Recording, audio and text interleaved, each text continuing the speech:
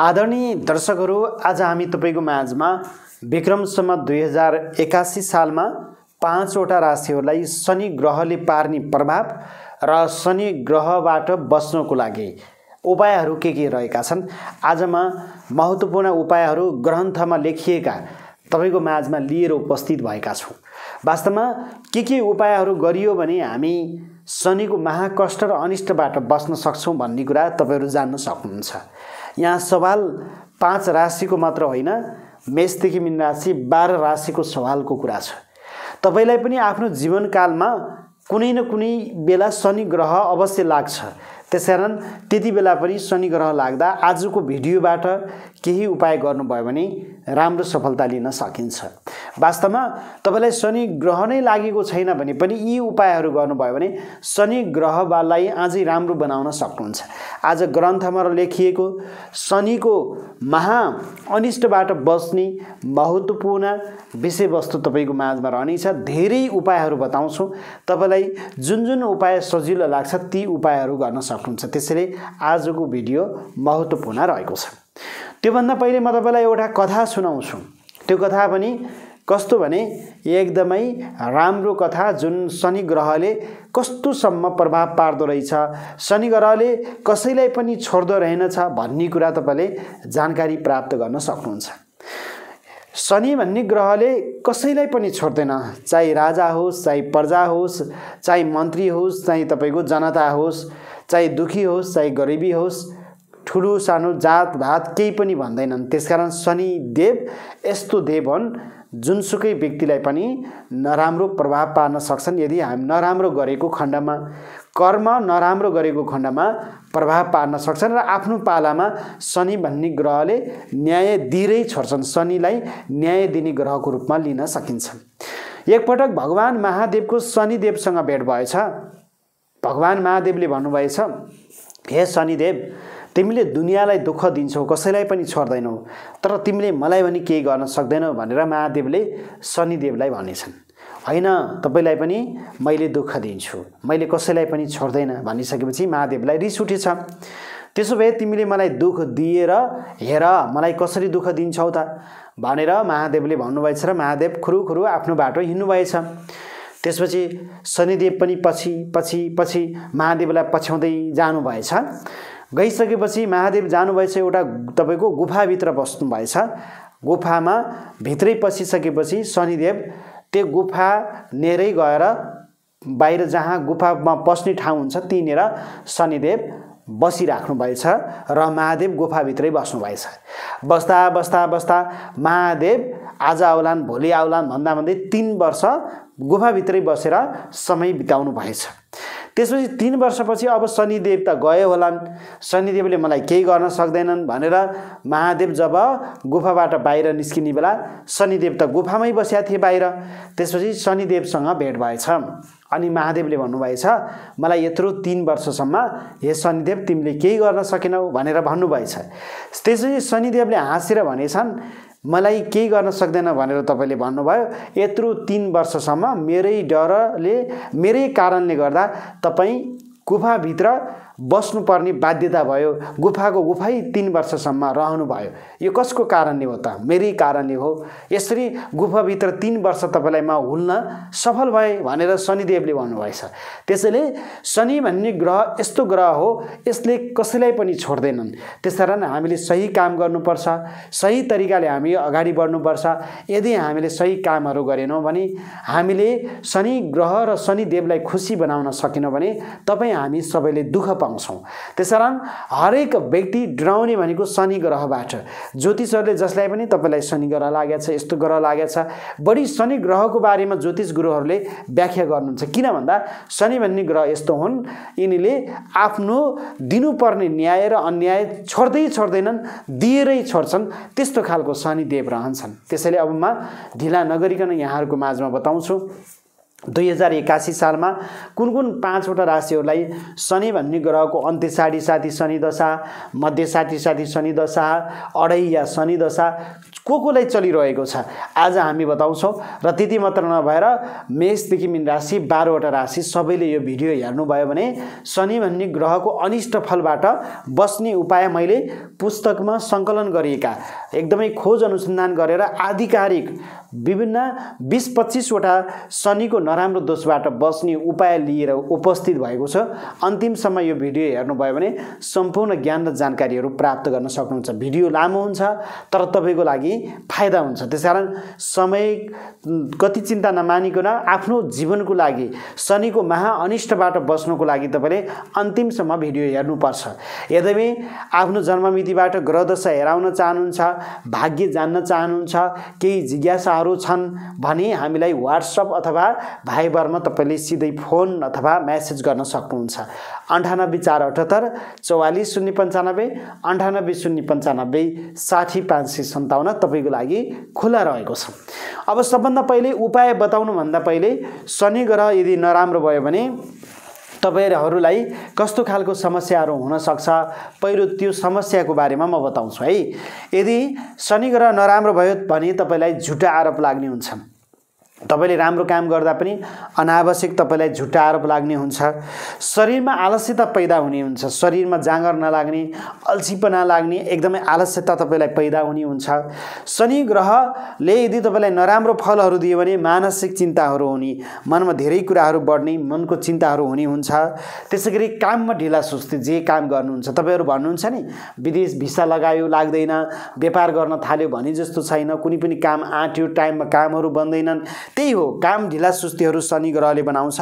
त्यसै गरी तपाईँको मान सम्मानमा आघात पुग्छ र त्यसै गरी चोटपटकको सम्भावना। जति पनि दुर्घटनाहरू हुन्छन् नि शनि ग्रहको कारणले गर्दा चोटपटक दुर्घटनाको सम्भावनाहरू तपाईँलाई रहन्छ।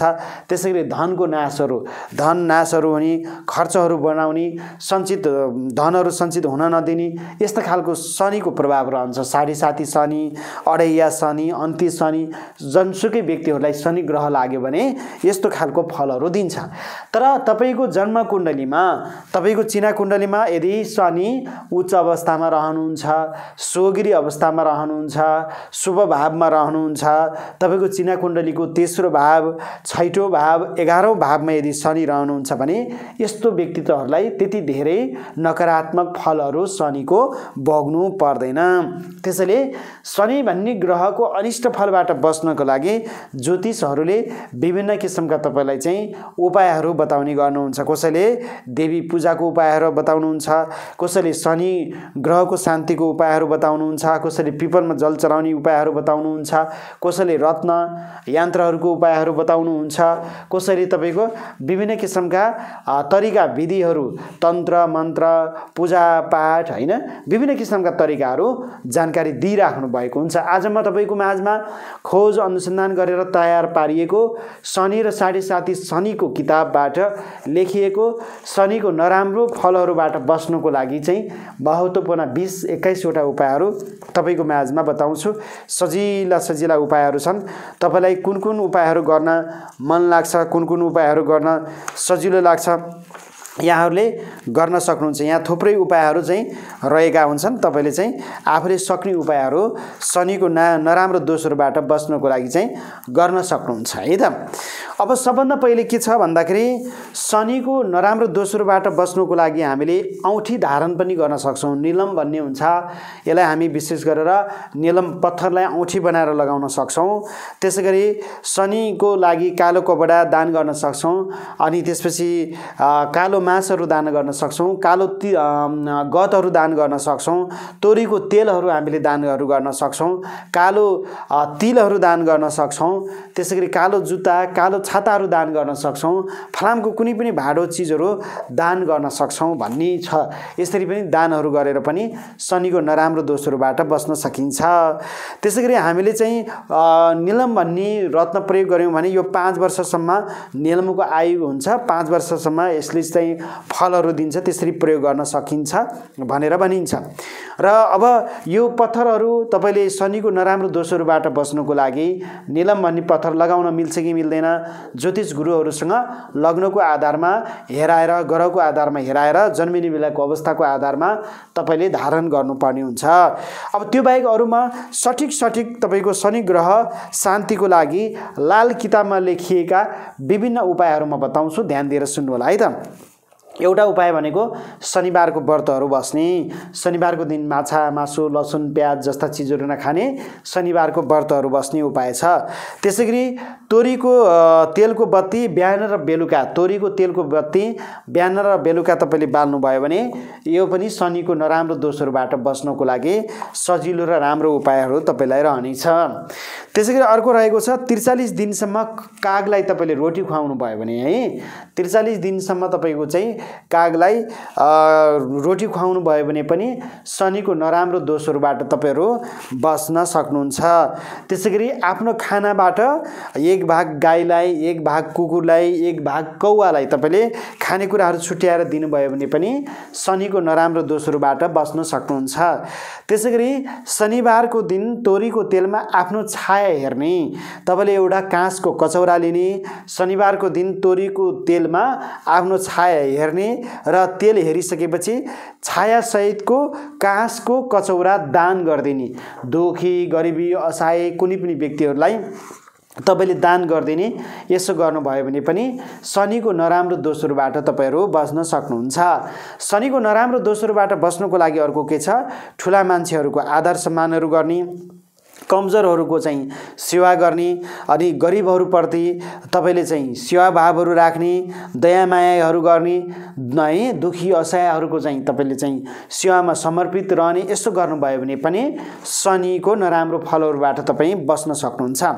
त्यसै गरी फलाम कालो तिल तपाईँले शनिबार जस्तै आठवटा शनिबार तेइसवटा शनिबार त्रिचालिसवटा शनिबारसम्म दान गर्नुभयो भने पनि शनिको नराम्रो दोषहरूबाट बस्न सक्नुहुन्छ। के गर्न सक्ने? फलाम कालो तिल निश्चित शनिबारको दिनमा फलाम अथवा फलाम र कालो तिल दुइटै है। फलाम र कालो तिल आठवटा शनिबार तेइसवटा शनिबार त्रिचालिसवटा शनिबारसम्म तपाईँले चाहिँ दान गर्नुभयो भने पनि शनिको नराम्रो दोषहरूबाट बस्न सक्नुहुन्छ है। त्यसै गरी अर्को के छ भन्दाखेरि तपाईँले चाहिँ फलाम र बिरी नुन यसलाई कालो नुन पनि भनिन्छ। तपाईँले दुईवटा टुक्राहरू लिने एउटा फलाम एउटा बिरे नुनको दुई दुईवटा टुक्राहरू लिने र शनिको शान्तिको कामना गरेर नदीमा बगाउने र अर्को टुक्रा आफूसँगै राख्ने। एक एक एक टुक्रा तपाईँले चाहिँ फलाम र बिरे नुनको एक एक टुक्रा नदीमा बगाउने अनि एक एक टुक्रा आफूले राख्नुभयो भने पनि शनिको नराम्रो दोषहरूबाट बस्न सकिन्छ। शनिको नराम्रो दोषहरूबाट बस्नुको लागि भैरवको पूजा गर्ने भैरवको उपासना गर्ने राम्रो मानिन्छ। त्यसै गरी नागपञ्चमी वा शनिबारको औँसी परेको दिनमा नागलाई दुध चढाउनु भयो भने दुध खुवाउनु भयो भने पनि शनिको नराम्रो दोषहरूबाट बस्न सक्नुहुन्छ। तेल र रक्सी कुनै पनि रुखको फेदहरूमा राखिदिनु भयो भने पनि तपाईँले चाहिँ शनिको नराम्रो दोषहरूबाट बस्न सक्नुहुन्छ। त्यसै गरी तेलमा पकाएको कालो कुकुर रोटी तेलमा पकाएको रोटीलाई कालो कुकुर वा कौवालाई खाना दिनुभयो भने पनि शनिको नराम्रो दोषहरूबाट बस्न सकिन्छ। त्यसरी घोडाको टापको फलामको औँठी बनाएर घोडाको टापको फलामको औँठी बनाएर शनिबारको दिनमा माझी औँलामा लगाउनु भयो भने पनि शनिको नराम्रो दोषहरूबाट बस्न सक्नुहुन्छ। मासको दाल भोजन मा खानु हुँदैन। शनिको नराम्रो दोषहरूबाट बस्नुको लागि मासको दाल तपाईँले नखाने गर्नुभयो भने पनि शनिको नराम्रो दोषबाट बस्न सक्नुहुन्छ।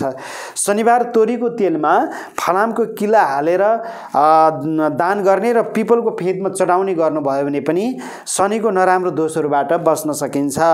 तोरीको तेलमा रोटी बनाएर त्यसमा चिनी राखेर गाईको बाछालाई खाना दिनुभयो भने पनि तपाईँ शनिको नराम्रो दोषहरूबाट बस्न सकिन्छ। त्यसै गरी तोरीको तेलमा पकाएको रोटी बनाएर बाँदरलाई खान दिनुभयो भने पनि शनिको नराम्रो दोषहरूबाट बस्न सकिन्छ। शुक्रबार कालो चना भिजाउने उक्त चना शनिबारको दिनमा काँचो कोइला र बेसार र फलामको पाता हालेर एउटा कालो कपडामा बाँधेर माछालाई खाना दिनुभयो भने पनि तपाईँको चाहिँ राम्रो हुन्छ। यो तपाईँले तेइस हप्तासम्म माछालाई खुवाउनु भयो भने पनि तपाईँको चाहिँ राम्रो हुन्छ। त्यसै गरी सवा किलो चिनी माफ गर्नुहोला सवा किलो चना तिन ठाउँमा भिजाउने। त्यसलाई शनिबारको दिनमा तेलमा तारेर तपाईँले श्रद्धापूर्वक पहिलो पहिलो सवा किलो घोडालाई अर्को सवा किलो भैँसीलाई र अर्को दोस्रो सवा किलो कुष्ठरोगीलाई खाना दिनुभयो भने पनि शनिको नराम्रो दोस्रोबाट बस्न सकिन्छ भनेर भनिन्छ।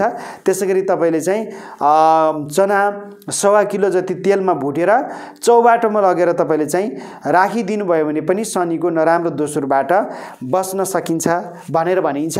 र त्यसै गरी शनिबारको व्रत बस्नुभयो भने पनि शनिको नराम्रो दोस्रोबाट बस्न सकिन्छ। जस्तै शनिबारको व्रत बस्दा तपाईँले शनिबार शनिबार पिपलमा जल चढाउनु पऱ्यो भने एक वर्ष अथवा सत्र अथवा एक्काइस अथवा एकाउन्नवटा शनिबारसम्म यो काम गर्नुभयो भने राम्रो हुन्छ। र शनिबार शनिबार नुन खानु भएन नुनको धेरै सेवन गर्नु भएन भने पनि शनिको दोषहरूबाट बस्न सकिन्छ भनेर शास्त्रमा भनिएका छन्। यी विभिन्न उपायहरू रहेका छन्। त्यसै गरी तपाईँले खरानीको टिको भस्मको टिकाहरू लगाउनु भयो भने पनि शनिको नराम्रो दोषहरूबाट बस्न सकिन्छ।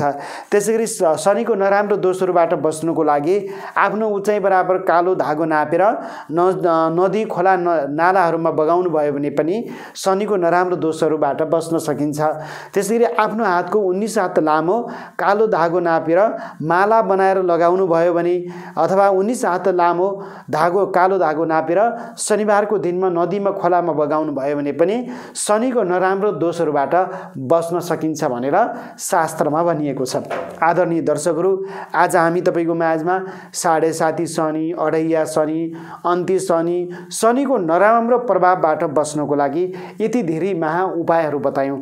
पक्कै पनि यी उपायहरूमध्ये तपाईँले जति सक्नुहुन्छ धेरै उपायहरू गर्न सक्नुभयो भने शनिको अनिष्ट फलबाट शनिको नराम्रो दोषहरूबाट तपाईँ बस्न सक्नुहुन्छ। अब दोहरायो दुई हजार एकासी सालमा कुन कुन राशिहरूलाई तपाईँको चाहिँ शनि ग्रह लागिरहेको छ कुन कुन राशिहरूले यस्तो कामहरू गर्नुपर्छ भन्ने कुरा यो त मेषदेखि मिन राशि बाह्रवटा राशिहरूले तपाईँले गर्नुहोस् तपाईँलाई राम्रो र शुभ रहन्छ भन्ने मान्यता रहेको छ। दुई हजार एकासी सालमा मकर राशिलाई पनि शनि ग्रह रहेको छ कुम्भ राशिलाई पनि शनि ग्रह रहेको छ त्यसै गरी मिन राशिलाई पनि शनि ग्रह रहेको छ कर्कट राशिलाई पनि शनि ग्रह रहेको छ वृश्चिक राशिलाई पनि शनि गरेर रहेको छ। तपाईँ यी राशिहरूले एकदमै सावधानी अपनाएर अगाडि बढ्न सक्नुहुन्छ र त्यो अनुसार कामहरू गर्न सक्नुहुन्छ। आदरणीय सम्पूर्ण दर्शकहरू हाम्रो च्यानलमा नयाँ हुनुहुन्छ पहिलोपटक हेर्दै हुनुहुन्छ भने च्यानललाई सब्सक्राइब गर्नुहोला नजिकै रहेको बेलमा गएर अलमा क्लिक गरेर नबिर्सनुहोला। ज्योतिष वास्तु धर्म र संस्कारको बारेमा कुनै पनि जिज्ञासा छ जन्ममितिबाट ग्रहदशा हेराउन चाहनुहुन्छ भने हामीलाई फोन गर्न सक्नुहुन्छ। अन्ठानब्बे चार अठहत्तर चौवालिस शून्य पन्चानब्बे अन्ठानब्बे शून्य पन्चानब्बे साठी पाँच सय सन्ताउन्न तपाईँको लागि खुला छ।